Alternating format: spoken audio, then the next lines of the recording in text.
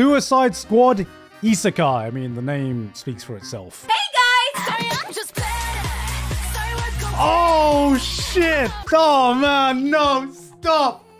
Stop! Um, the fact that this is done by Studio Wit as well, who, if you don't know Studio Wit, they are a goated anime studio. They very, very rarely miss. Not only that, it is being written by the person who wrote ReZero. So I'm going to give this one a must watch. Yep. Don't adjust your screens, this is really happening. When I first saw this get announced, I had to double check that the date wasn't April 1st. All in all, this seems like just a fun, don't take too seriously type of show, giving us exactly what we'd expect. The Suicide Squad having a romp in an isekai fantasy world, but I'm not sure if I was expecting a bit more coming from the writer of ReZero and animated by Studio Wit, a studio that has historically put out banger after banger, because I'm not sure if there's anything else taking their focus.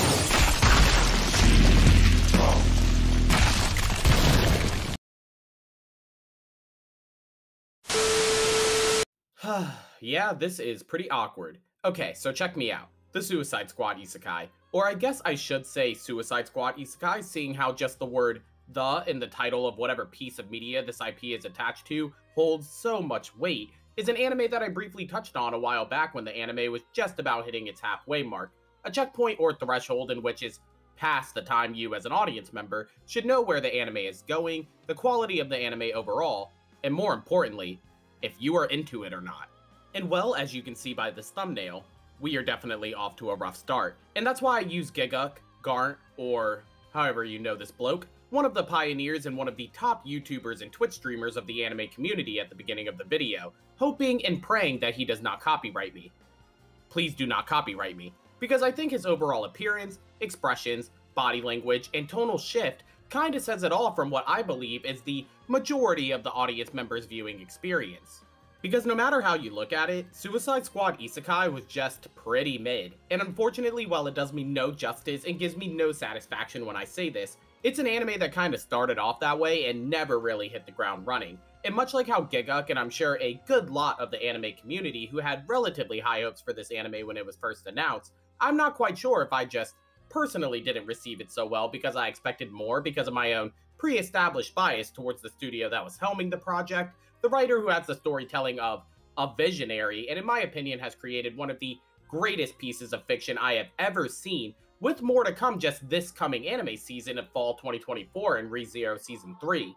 An absolutely stacked and incredible voice acting cast that was attached to this project, and quite frankly, a growing audience over here in the West when it comes to the engagement and overall investment and popularity of the genre overall. So don't get me wrong, I definitely saw the vision of what Warner Brothers Japan was going for here. I have mentioned many times throughout the lifetime of this channel that as someone who I would say is now a pretty seasoned anime watcher, and again as someone who has watched and witnessed firsthand the uptick in popularity that came with the genre when audiences here in the West found out what JJK and Demon Slayer was, not to mention the epic grip that the last season and couple of movies of Attack on Titan had on the world, Rip Eren Yeager. So like I said, I definitely saw the vision of what Warner Brothers Japan was going for, but unfortunately, I just don't think the execution was there for me this time around, and I hesitate to say that it was a skill issue, or lack of talent, or blatant incompetency, because I have seen this crew of chefs cook up some amazing dishes in the kitchen before. The fact of the matter is, is that the Suicide Squad Isekai was just bland, and honestly, in my opinion, too meta for its own good. An anime that because of its own hubris, failed to produce a meaningful and cohesive narrative for the audience to attach themselves to, an anime so poorly paced that it fails to convey the direction or the tone that it's going for, pretty much non-existent tension and stakes, and what I would consider to be the worst mistake of them all, failing on the behalf of the genre of isekai, and creating one of, if not the most vanilla and tropey fantasy world this oversaturated market has to offer when it comes to highly marketed and mainstream isekai such as this. And this is all coming from an anime that was given the blessing from a writing perspective of not really having to care about character development, character growth, or building character relationships because that has already been premeditated for them from the source material. Unlike a manga being developed into an anime, or say to put more emphasis on what I'm trying to say, unlike a story being developed into an anime, the Suicide Squad as an IP is more of a character driven IP than an actual story Which is why it goes back to how I definitely saw the vision of what Warner Brothers Japan was cooking in the oven in terms of adapting these characters into a isekai and fantasy world type of setting, because when it came to the creativity and imagination of what you could really do with these characters, the possibilities were genuinely endless, which I think in my experience only added to the disappointment of the product I was watching unfold on my TV week after week. A truly unrewarding experience considering the anime that we have been blessed with this season in regards to sequels like The Tower of God Season 2 or Oshi no Ko Season 2, or just surprise bangers like Bye Bye Earth, My Dear Friend Nokotan, or The Elusive Samurai. But that's just how it goes in this community. You win some, you lose some. So with that, let's be quick about it and talk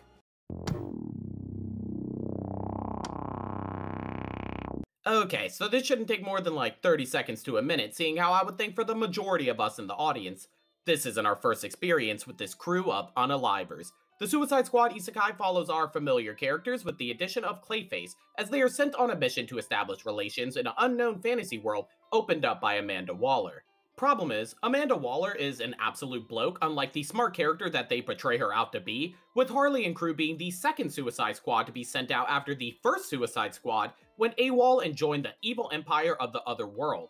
Actually, before I continue, man, I just realized throughout the entirety of this anime, they didn't even name the world that they were living in. The natives of this world, not like our dumbass bloke characters, but they didn't even name the planet, the country, the territory, a village, whatever it is that they reside in.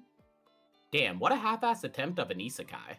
Anyway, with that, Harley and crew are tasked with the mission of not only to establish relations, but to now take out the AWOL low IQ crew that came before, and with a 72 hour, let's just say, seed implanted into their neck to ensure that the past mistakes aren't repeated, we watch as our Suicide Squad sets out on their isekai journey as they attempt to entertain us, the audience, with their blatantly disrespectful misunderstandings with the natives, and high octane and, to be fair, some rather incredibly animated action sequences before you realize that there's nothing really going on when it comes to the world building or the plot.